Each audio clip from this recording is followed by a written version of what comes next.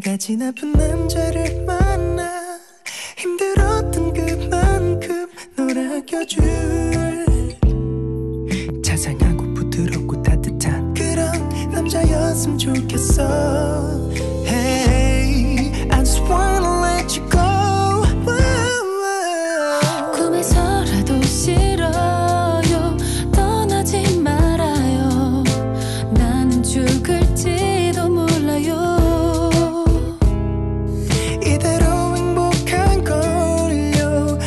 모르겠나요? 아무것도 바라지 않아.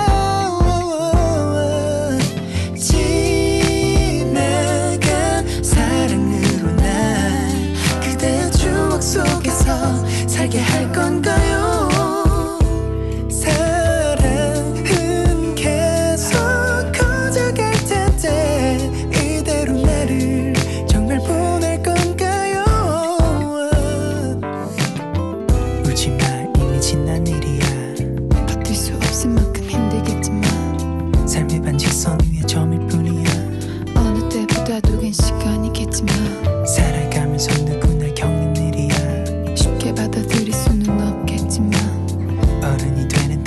과정일 뿐이야. 어 단지 과정일 뿐이야.